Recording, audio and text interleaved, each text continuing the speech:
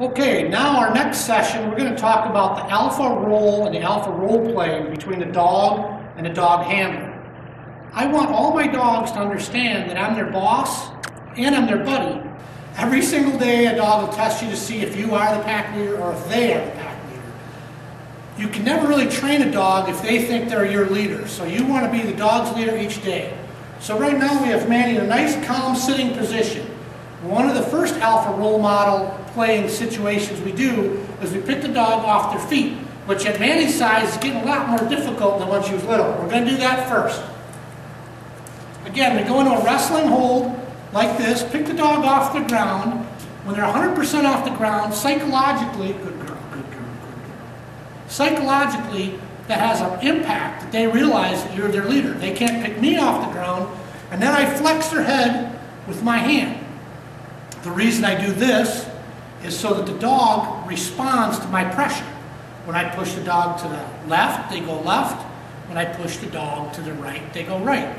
I do this every day. Notice she's not fighting me at this point. She just loves me now because I've been nice to her.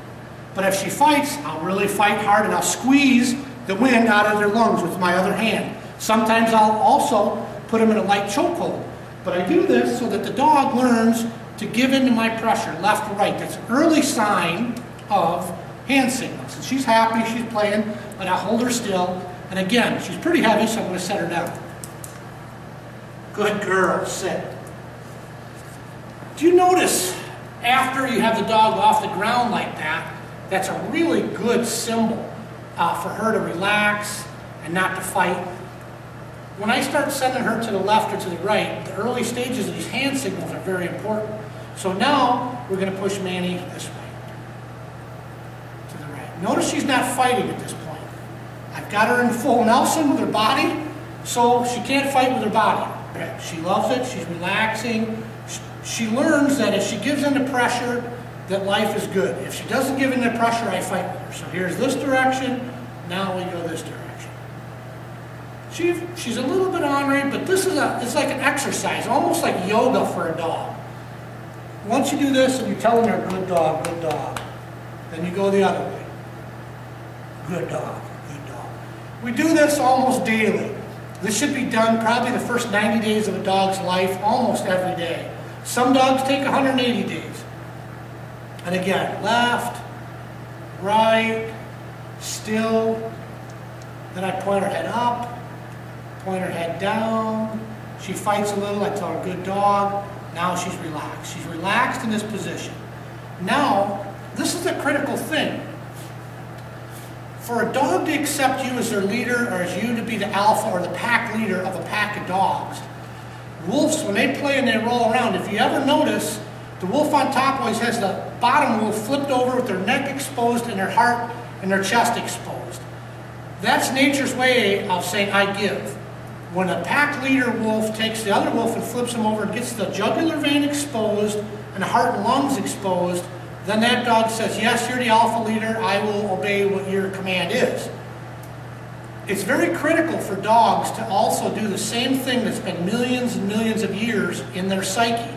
Their brain is wired for millions of years as a pack, like a pack of wolves. And if you're the top wolf, they'll always agree with you. If they think they're the top wolf, it'll be a fight and a struggle every day.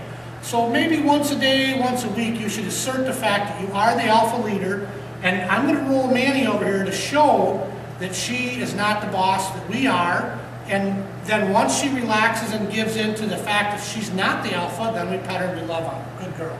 So now we're going to flip her over, just like in wrestling, being careful not to hurt her. And we want her on the ground, okay? Just like wrestling move with kids.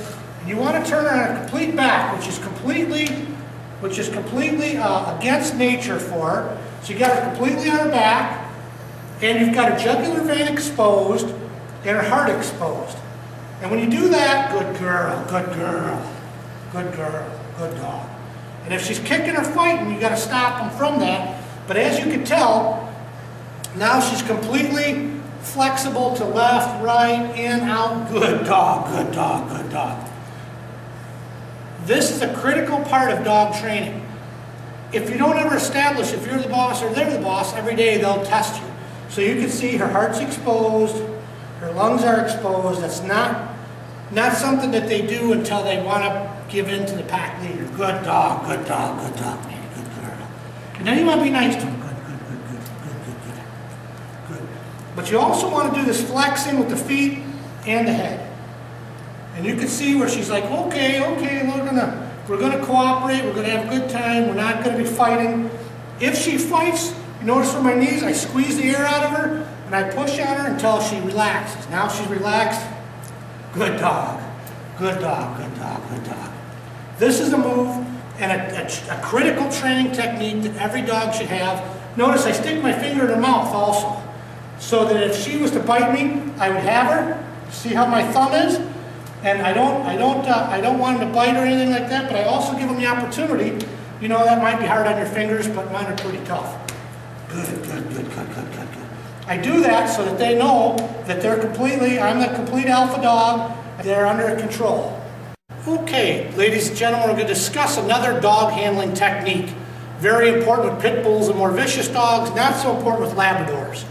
The technique we're going to do is how to handle a dog's head without getting bit where the dog kind of bites themselves. So when I grab a dog, I grab them in a very distinct way if you get a wild one or a crazy one. We're going to zoom in here and take a look at this.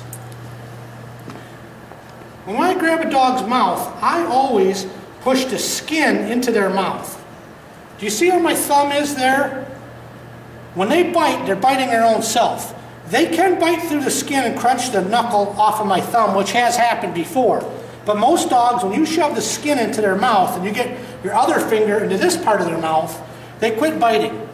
This is a way when a dog has a temper tantrum or they're vicious. If you get them in this manner, sometimes they'll bust the knuckle off your thumb or the fingernail, but most generally they'll give up. You'll get a hard case once in a while that you might have to get a little harder on, but this is also, if they start the whining, the vocalizing, the biting, this is a way to stop that. So if you ever have one fighting on a bird or wanting to chew, if you put your finger between their skin and their tooth, they'll quit biting, especially if you do both sides. So that's a technique for dog handling that you should use sparingly if they're chewing stuff up around the house. It's a good technique to have. And then you just let off on it. Manny doesn't hurt her cheeks at all. If you look inside there, she hasn't hurt herself at all. That's a good thing. 90%, 99% of all dogs will quit biting. Okay, ladies and gentlemen, we're going to discuss another very important training technique that I use. I've done this for 30 years. My grandpa done it for 100 before me. My dad did it. One of the, the techniques that I like to use is when I call a dog in, I like them in the pocket, we call this. The pocket is a safety zone for the dog to be in. It's in between my legs and where I've got him almost in a wrestling half or full Nelson. The reason I like this position is when a dog has a bird or a dummy in their mouth and I go to reach for it, they have nowhere to go but back or next to me. They can't back up because they already are in the garage backwards. So I call this the garage or the pocket. If the dog wants to fight, let's say they've got a porcupine quill stuck in their eye. One, I don't know if you can see, but I have, if you do a close-up, I've got the dog between my legs so I can squeeze the air out of them. I've got their head and their body in position so that they automatically refer to the second or the third alpha. I become the alpha wolf, they become the, the lesser. And in that position, I can check all injuries, I can check all vital signs, hug my dog, love on my dog, check their mouth for wounds, check their eyes, and they can't back up or pull off to the side. If there was a fishing hook stuck in her eye and she was running around and I was over there following, it'd be very difficult. Now if there's a fishing hook stuck in her eye and I've got her in a full Nelson, we can operate from this position. And it also gives a dog a safety zone in which to go in. And they like to play too. Yeah, good dog, man, good dog, good dog. Okay, Manny's doing extremely well. She's had a long session. We're going to let her go here in a minute.